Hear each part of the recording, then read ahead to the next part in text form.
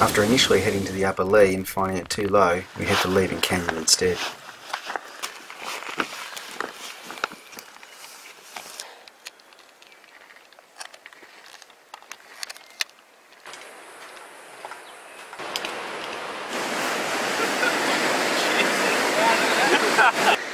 With this being Ken's first pack rafting trip with us, I think already he's starting to question our sanity.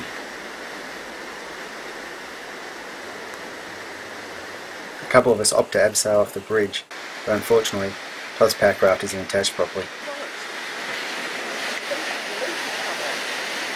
It's a nasty hole, that one. That's a keeper.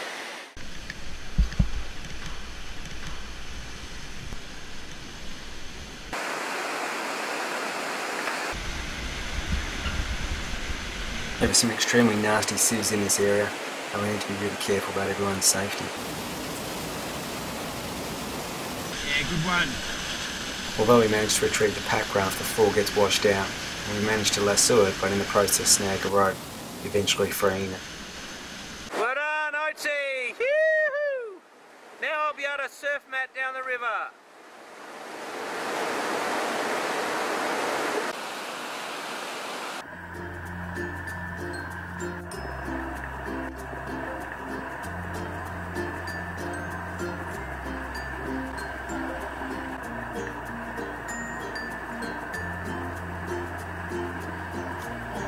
Although the river is super low, the gorge deepens and widens out, making for a really impressive backdrop, and some really fun rapids.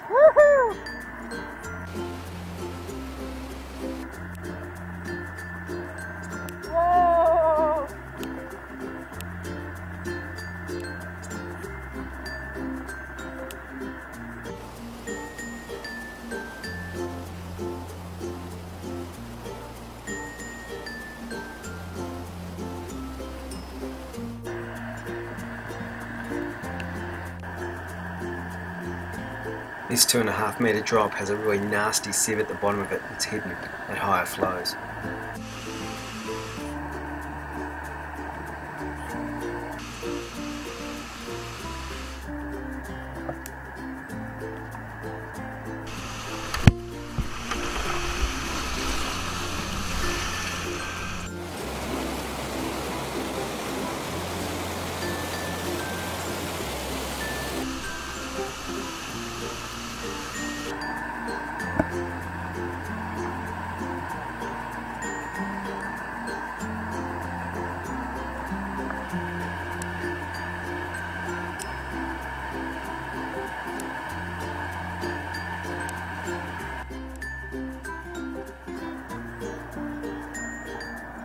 We get to the first of the two main waterfalls and opt to down climb and jump off rather than to abseil.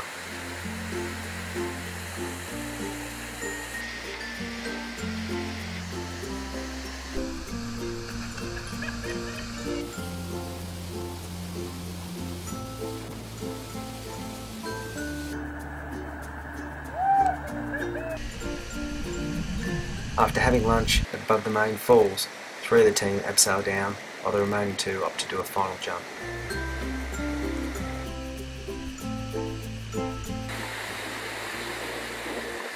In the meantime though, a sudden wind gust blows two of the pack rafts into the main current over the falls. We throw our overnight packs off the 15 metre falls, only to suffer the consequences of a few broken items. See you on the flip side.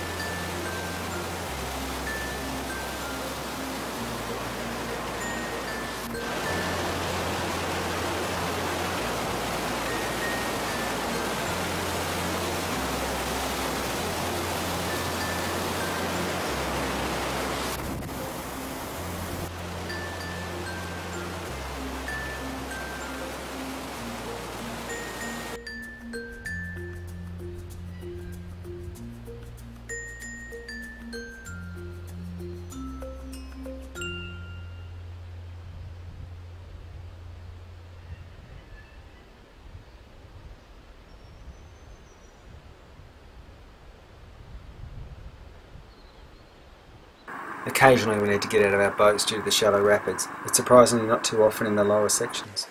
One of the great things about pack rafting is that it's relatively easy to carry overnight gear, so it's great to be able to camp out beside the river and take our time.